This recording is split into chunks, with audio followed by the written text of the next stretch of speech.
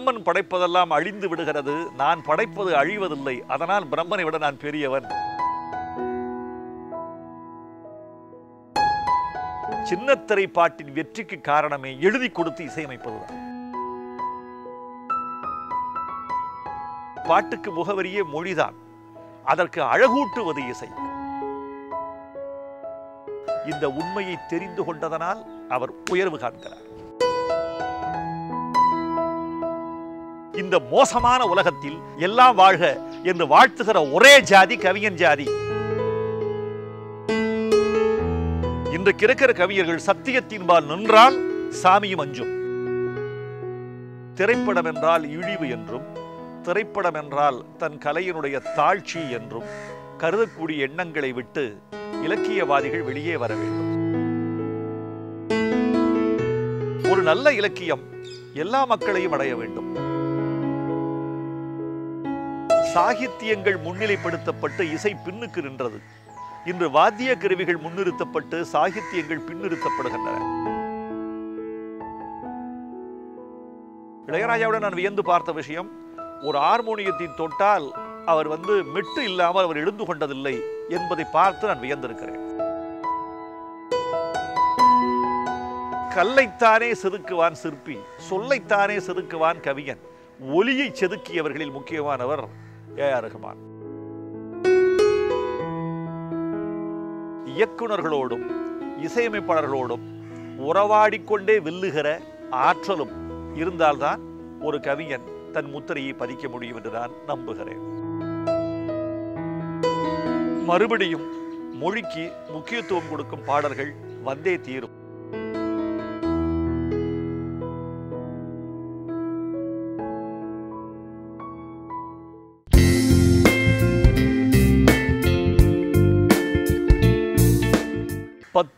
அல்லது பதினோரு வயது என்று நினைக்கிறேன். என்னை சுற்றியிருந்த உலகம் எனக்குள் ஏதோ ஒன்றை எழுப்பி காட்டியது. அந்த விவசாய வெளிகளை இன்றும் நான் மகிழ்ச்சியோடு நினைத்து பார்க்கிறேன். நான் நகரத்தில் பிறந்திருந்தால் ஒரு ஒரு பணக்கார வீட்டில் பிறந்திருந்தால் அடைந்த லாபத்தை விட விவசாய வெளிகள் பிறந்ததனால் ஓர் எளிய குடும்பத்தில் பிறந்ததனால் அடைந்தேன். என்பதை இப்போது உணர்கிறேன். அந்த வாழ்க்கை வாழப்பட்ட போது அது துயரமாக இருந்தது. வாழ்ந்து முடித்த பிறகு அந்த வலிதான் எனக்கு வரமாக அமைந்தது என்று கண்டுகொண்டேன். பத்து அல்லது பதினோரு வயதில் எங்கள் தோட்டத்து வயல்வெளிகளில் வரப்புகளில் நடந்து கொண்டே நான் ஒரு கவிஞன் என்று என்னை பெருமிதமாக கற்பனை செய்து கொண்டு அடடே மொழி என் வாசலுக்கு வந்து விட்டதே மொழி எனக்கும் தன்னுடைய பச்சை கொடியை காட்டிவிட்டதே என்று அறியாத கர்வத்தோடு எழுதிய வயது பத்து அல்லது பதினொன்று.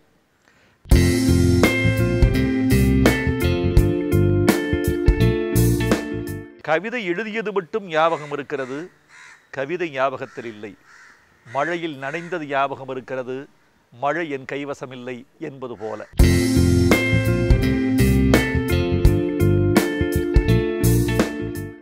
திரைப்படம் என்ற வாகனத்தை ஓர் இலக்கியவாதி மறுதலிக்க கூடாது. திரைப்படம் என்றால் இழிவு என்றும் திரைப்படம் என்றால் தன் கலையினுடைய தாழ்ச்சி என்றும் கருதக்கூடிய எண்ணங்களை விட்டு இலக்கியவாதிகள் வெளியே வர வேண்டும். இலக்கியம் அது ஓர் உயரத்தில் இயங்குகிறது கலை அது ஒரு சமதளத்தில் இயங்குகிறது. மக்களுடைய வாழ்க்கையோடு ஒன்றிப்போனதுதான் திரைப்படம். நான் என் கவிதை நூல் ஒன்று வெளியிட்டேன் ஆயிரத்து தொள்ளாயிரத்து எழுபத்து ரெண்டில் வைகரை மேகங்கள் என்ற பெயரில். அப்போது நான் கல்லூரி மாணவன். கவியரசு கண்ணதாசனை அணுகி அதற்கு நான் அணிந்துரை பெற்றேன். அந்த நூல் ஆயிரத்து இருநூறு பிரதிகள் அச்சிட்டேன். அந்த ஆயிரத்தி இருநூறு பிரதிகளில் அறுநூறு பிரதிகள் இலவசமாக வழங்கப்பட்டன. அறுநூறு பிரதிகள் விற்பனை செய்யப்பட்டன. இருநூறு பிரதிகளுக்கு மட்டுமே பணம் வந்து சேர்ந்தது. இதுதான் என்னுடைய முதல் நூலில் நான் பெற்ற அனுபவம். இலக்கியம் என்பது என்றுமே சிறுபான்மையாக இருக்கிறது என்பதை அறிந்து கொள்வதற்கே எனக்கு இருபத்தைந்து வயது ஆயிற்று இலக்கியம் என்றால் அதுதான் வாழ்வின் உச்சம் என்றும் கவிதை நூல் எழுதினால் அவன்தான் உலகத்தின் சிகரத்தில் இருக்கிறான் என்றும் கற்பனை செய்து கொண்டது பொய் என்று புரிந்தது. ஒரு நல்ல இலக்கியம் எல்லா மக்களையும் அடைய வேண்டும். இந்த இந்திய துணைக்கண்டத்தில் இரண்டு பெரிய இலக்கியங்கள் இருக்கின்றன. ஒன்று ராமாயணம் இன்னொன்று மகாபாரதம். இந்த ரெண்டும் தான் அதிக மக்களை சென்றடைந்த இலக்கியங்கள். அதிக மக்களை சென்றடைகிற இலக்கியம் உயர்ந்த இலக்கியமாகவும் இருக்க முடியும் என்பதை இதிகாசங்கள் எனக்கு சொல்லிக் கொடுத்தன. உயர்ந்த நூலை யாரும் படிக்க மாட்டார்கள். அதிகமான மக்களை சென்றடைவது நல்ல இலக்கியமாக இருக்காது. அது மலிவு இலக்கியமாக இருக்கும் என்பவர்களின் கருத்தில் எனக்கு உடன்பாடில்லை. திருக்குறள் அதிகமான மக்களால் நேசிக்கப்படுகிறது. பாரதியார் கவிதைகள் அதிகமான மக்களால் வாசிக்கப்படுகிறது. பாரதிதாசன் பாடல்கள் அதிகமான தமிழர்களால் இசைக்கப்படுகிறது என்கிற போது நல்லிலக்கியம் மக்கள் இலக்கியமாகவே இருக்க முடியும். எனவே மக்கள் ஊடகமாக இருக்கிற திரைப்படத்தை ஒரு மக்கள் கவிஞன் எப்படி நிராகரித்து விட முடியும்? என் தமிழ் ஆயிரத்தி இருநூறு பிரதிகளோடு நின்றுவிடக்கூடாது என்று முடிவு கட்டிய போது நான் திரைத்துறைக்கு வந்தே தீர வேண்டும் என்று கங்கணம் கட்டினேன். இதுதான் திரைத்துறைக்கு நான் வந்த அடிப்படை நோக்கம்.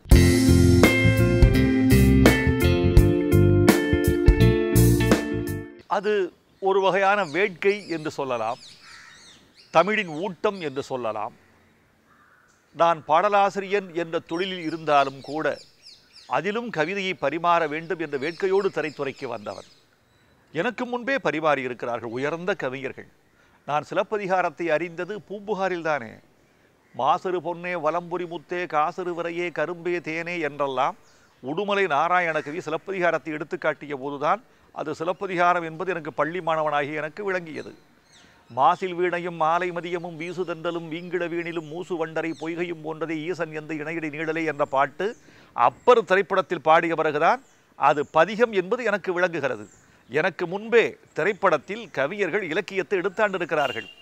போக போக இலக்கியத்தின் வீச்சு குறைந்தது. நான் புதுக்கவிதையினுடைய உறவு பெற்று நான் திரைத்துறைக்கு வந்தேன். எனவே புதுக்கவிதை என்ற வீச்சுக்களை திரைப்பட பாடல்களில் பதிவு செய்ய முடியும் என்ற நம்பிக்கை எனக்கு பிறந்தது. நானும் என்னால் முடிந்ததை செய்திருக்கிறேன்.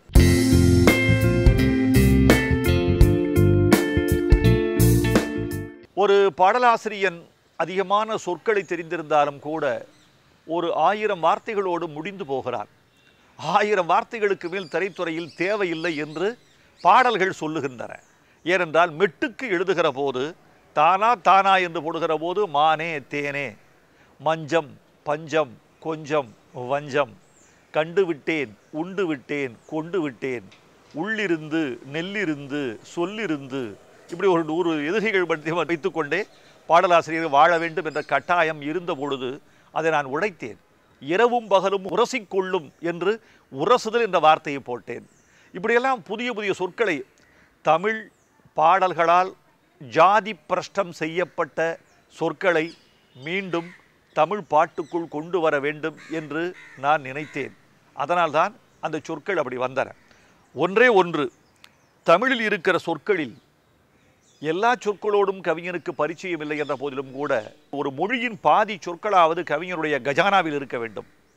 தேவையானது எடுத்து அவன் செலவழிக்க வேண்டும். மொழி பயிற்சியும் இலக்கிய ஆளுமையும் எல்லாவற்றையும் விட இயக்குனர்களோடும் இசையமைப்பாளர்களோடும் உறவாடிக்கொண்டே வெல்லுகிற ஆற்றலும் இருந்தால்தான் ஒரு கவிஞன் தன் முத்திரையை பதிக்க முடியும் என்று நான் நம்புகிறேன்.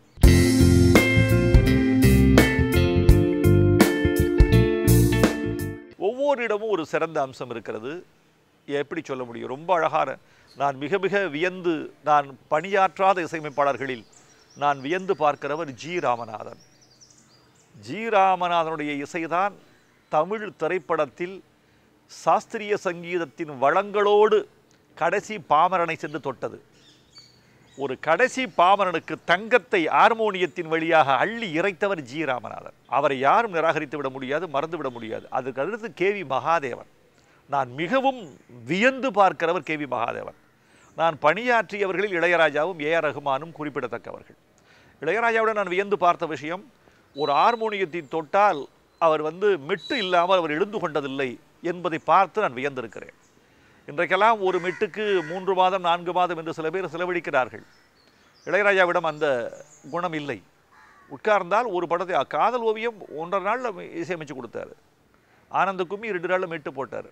அவர் உட்கார்ந்தால் ஹார்மோனியத்தை விட்டு எழுந்து கொள்வதற்கு முன்னால் அந்த படத்தில் எல்லா மெட்டுகளையும் போட்டு விடுவார். இது ரொம்ப ஆச்சரியமான விஷயம்.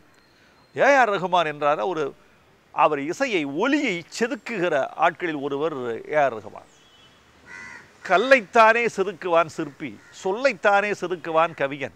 ஒலியை செதுக்கியவர்களில் முக்கியமானவர் ஏஆர் ரஹ்மான் கேட்டு போன பழைய சப்தங்களிலிருந்து தமிழனை விடுவித்தவர் ஏஆர் ரஹ்மான் என்று சொல்லலாம். இப்படி ஒவ்வொருவிடம் ஒரு விஷயம் இருக்கிறது. சங்கர் கணேஷ் வந்து நாம் சொன்னதை கேட்டுக்கொள்வார். எல்லாம் ரொம்ப ஃப்ளெக்சிபிளாக இருப்பார் சங்கர் கணேஷில். இறைந்து பிறந்து போன சங்கர் எல்லாரும் ஒவ்வொருத்தரும் ஒரு திறமை இருக்கிறது. சொன்னால் இப்போது நேரம் போதாது என்பதனால் காலம் வரும்போது சொல்லுகிறேன்.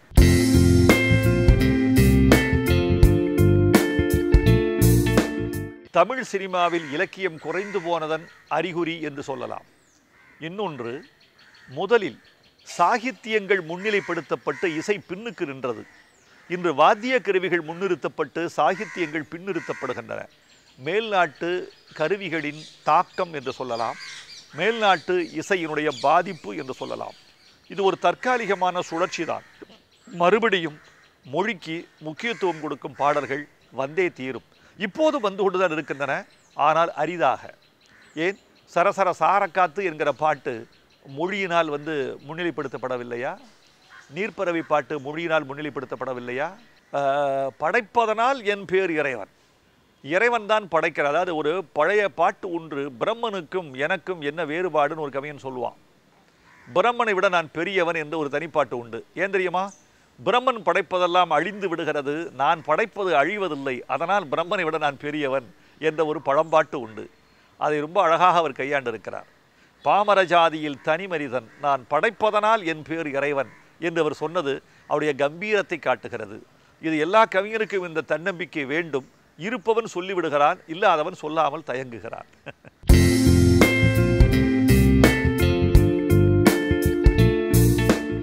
சின்னத்திரையினுடைய பாடல்களின் வெற்றி என்னை சார்ந்தது என்று சொல்லிவிட முடியாது. தினந்தோறும் அந்த குறிப்பிட்ட நேரத்தில் தமிழ்நாட்டு மக்கள் அதை கேட்டே தீர வேண்டும் என்ற கட்டாயம் வேறதுக்கு இருக்கிறது. மீண்டும் மீண்டும் சொல்லப்படுகிற போது ஒரு பாட்டுக்கு அதிகமான வலிமை வருவதாக நான் நினைக்கிறேன். ஆனால் இந்த சின்னத்திரை பாடல்களில் எனக்கு ஒரு வசதி உண்டு. அதற்கு நான் பெரும்பாலும் மெட்டுக்கு எழுதுவதில்லை. தலைப்பை சொல்லிவிட்டு கதையை சொல்லிவிட்டு போய்விடுவார்கள். நான் ஒரு பாடலை எழுதி அனுப்புவேன். அதற்கு இசையமைக்கப்படும். சின்னத்திரை பாட்டின் வெற்றிக்கு காரணமே எழுதி கொடுத்து இசையமைப்பதுதான்.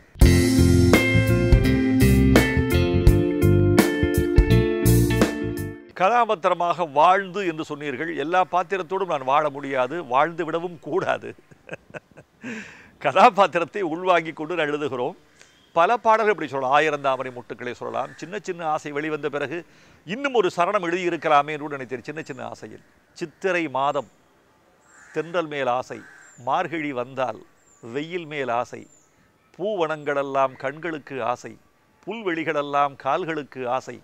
சரிந்து விழத்தானே தாவணிக்கு ஆசை என்று எழுதியிருந்தேன். இப்படி நூற்றுக்கணக்கான ஆசைகளில் வி- விடுபட்டு போன ஆசைகள் நிறைய இருக்கிறேன் எனக்கு இன்னும் கூட ஒரு ஆசை. சின்ன சின்ன ஆசையில் இன்னொரு சரணம் எழுதினால் என்ன? ஏ, ரகுமானிடம் சண்டை போட்டுக் கொண்டிருக்கிறேன். அதை எழுதி ஒரு வேறொரு படத்திற்காக வைக்க வேண்டும் என்ற ஆசை இருக்கிறது எனக்கு.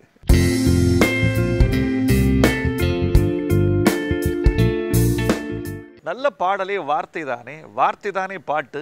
இப்போது நீங்கள் ஒரு பாடலை சொல்லுகிறீர்கள் என்று சொன்னால் பல்லவியை சொல்லித்தானே சொல்லுகிறீர்கள்? ஒரு பாடலை அடையாளம் காட்டுகிற போது நீங்கள் மொழியின் பெயரை சொல்லித்தானே பாட்டை கேட்கிறீர்கள்? எனவே ஒரு பாட்டுக்கு முகவரியே மொழிதான். அதற்கு அழகூட்டுவது இசை. அதற்கு சிறகு கட்டுவது இசை. அதை மேன்மை செய்வது இசை. எனவே பாட்டு என்பது மொழி என்பதுதான் உடல். உயிர் என்பது அதன் பொருள். அதற்கு அலங்காரம் செய்வது இசை என்று நான் நிச்சயமாக நம்புகிறேன். தமிழ் சினிமாவில் எம் எஸ் விஸ்வநாதன் இசையமைத்த பாடல்கள் அத்தனை பேர் பாடல்களை விட எண்ணிக்கையிலும் காலத்திலும் அதிகமாக நிலைத்து நிற்கும் என்று நான் உறுதியாக நம்புகிறேன். தமிழ் திரைப்பட பாடல்கள் அறுபதாயிரம் பாடல்களை கேட்டவன் கேட்டுக்கொண்டிருக்கிறவன் என்ற முறையில் சொல்லுகிறேன். அதற்கு காரணம் அவர் சொல்லுவார் என் இசை என்பது நிழல் மொழிதான் நிஜம் இதை நம்புகிறேன் என்று வெளிப்படையாக சத்தியம் செய்து பிரகடனம் செய்தவர் எம் எஸ் விஸ்வநாதன். இந்த உண்மையை தெரிந்து கொண்டதனால் அவர் உயர்வு காண்கிறார்.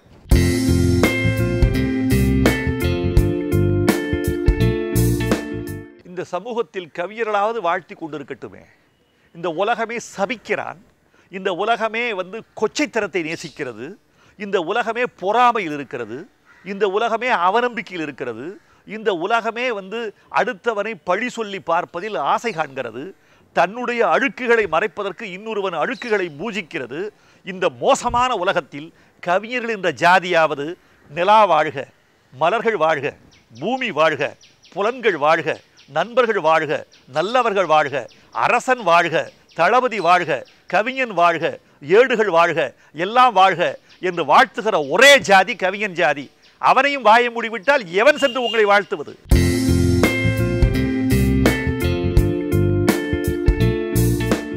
சிவபெருமான் அஞ்சினான் என்றால் நக்கீரன் அஞ்ச வைத்தான் என்று பொருள் அல்ல. சத்தியத்தில் நின்றான்.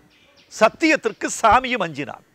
இன்றைக்கு இருக்கிற கவிஞர்கள் சத்தியத்தின்பால் நின்றால் சாமியும் அஞ்சும்.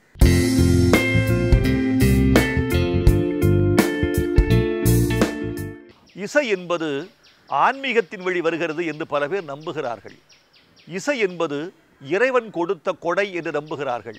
நான் அப்படி நம்பவில்லை. ஒலி என்பது இயற்கை கொடுத்த கொடை. அந்த ஒலியை செம்மை செய்தது மனிதனுடைய நாகரிகம். இவ்வளவுதான். ஒலியை செம்மை செய்வது பயிற்சியால் வருவது. மொழி என்பது பயிற்சியால் வருவது மாதிரி ஒலி என்பதும் பயிற்சியால் வருவது. அதை கடவுளோடு சம்பந்தப்படுத்தி கொண்டு கடவுளோடு நானும் ஒரு பாகமாக இருக்கிறேன் என்று கருதி கொள்கிற போது அவர்களுக்கு அந்த பிரச்சனை வருகிறது. அதை அவர்கள் மற்றவர்கள் மீது திணிக்காத வரைக்கும் நீங்கள் அதை கண்டிக்க வேண்டிய அவசியம் இல்லை அவர்கள் அப்படி கருதி கொண்டால் நீங்கள் தடுக்கக்கூடாது. இந்த கருத்தை ஏற்றுக்கொள் என்று உங்கள் மீது திணித்தால் நீங்கள் மறுத்து பேசலாம்.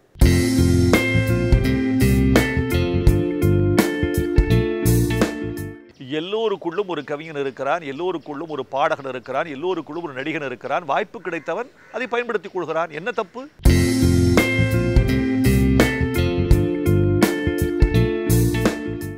ரெண்டு ரெண்டு புல்லாங்குழல் ஷெனாய். இந்த ரெண்டுக்கும் நான் மகா ரசிகன். புல்லாங்குழல் வந்தாலும் ஷெனாய் வந்தாலும் நான் மயங்கியே விடுவேன்.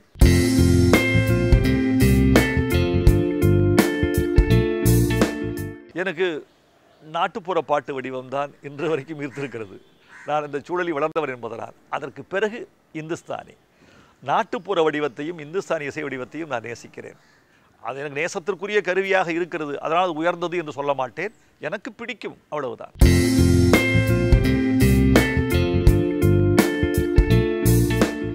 விருதுகளால் ஒரு மனிதன் முடிந்து போவதில்லை. விருது என்பது என்ன தெரியுமா? நான் சாப்பிடுகிற உணவு எனக்கு சக்தி கொடுப்பது மாதிரி தான் விருது என்பது. விருது என்பது மனதுக்கான உணவு என்று சொல்லலாம். உற்சாகத்தை ஊட்டுகிற உணவு தான் விருது. அதற்கு மேல் விருதுக்கு பெரிய அர்த்தம் இல்லை. நோக்கம் என்னுடைய நோக்கம் விருது பெறுவது அல்ல. தமிழ் மக்களை என் ரசிகர்களை என் சமகால சமுதாயத்தை மகிழ்ச்சியோடும் உணர்ச்சியோடும் எழுச்சியோடும் வைத்திருப்பது. விருதுகளால் அது நின்று விடுமா? விருது இல்லை என்றாலும் விருது பெற்றாலும் இந்த பணி தொடரும். என்னுடைய பயணம் காட்டுக்குள் நுழைகிறேன். பழம்பறிக்க அல்ல. காடுகளை கடந்து குயில்களோடு பாடிக்கொண்டு போவதற்காகவே நான் காட்டுக்குள் நுழைகிறேன். அங்கிருக்கும் கனிகளோடு என் பயணம் நின்று விடுவதில்லை. என் பயணம் என் நெடுந்தூரம். குமுதம் இணையதள நேயர்கள் அனைவருக்கும் என் நன்றி. என் கருத்துக்களை பகிர்ந்து கொள்ள இடமளித்த குமுதம் இணையதளத்தை நான் நன்றியோடு நினைத்து பார்க்கிறேன். குமுதம் என் வாழ்வோடு இணைந்த ஒரு பெரும் பத்திரிகை. குமுதம் படிக்காவிட்டால் அந்த வாரம் ஊனமுற்ற வாரமாக எனக்கு ஆகிவிடுகிறது. எப்படியோ குமுதம் எங்கள் வாழ்வோடும் உணர்வோடும் கலந்து விட்டது. குமுதத்திற்கு நான் எப்படி நன்றி கடன்பட்டிருக்கிறேன் என்பதை உங்களுக்கு சொல்ல வேண்டும். கவிதை உலகத்தில் இருந்த என்னை உரைநடைக்கு அழைத்து வந்ததே குமுதம்தான். அதற்கு நான் நன்றி பாராட்டுகிறேன். இன்றைக்கு நான் கள்ளிக்காட்டு இதிகாசத்திற்கு சாகித்ய அகாடமி விருது வாங்கியதற்கும் மூன்றாம் உலகப் போர் ஐந்து மாதங்களில் ஏழு பதிப்பு காணக்கூடிய நாவலாக பரிமாணம் பெற்று விளங்குவதற்கும் இன்னும் புதிய படைப்புகளை நோக்கி நான் நகர்வதற்கும் தொடக்கமாக இருந்தது குமுதம். நேயர்களே உங்களுக்கு ஒரு வார்த்தை நிறைய கற்க வேண்டும் நீங்கள். கற்பதற்கான வாய்ப்பு குவிந்திருக்கிறது. நிறைய படியுங்கள் நிறைய தெரிந்து கொள்ளுங்கள். உலக நீரோட்டத்தோடு எதிர்நீச்சலிட்டு போட்டியிடுவதற்கு நிறைய அறிவு வலிமை வேண்டும். அந்த வலிமையை வார்த்து கொள்ளுங்கள். அனைவருக்கும் என் வாழ்த்துக்கள். மீண்டும் வணக்கம்.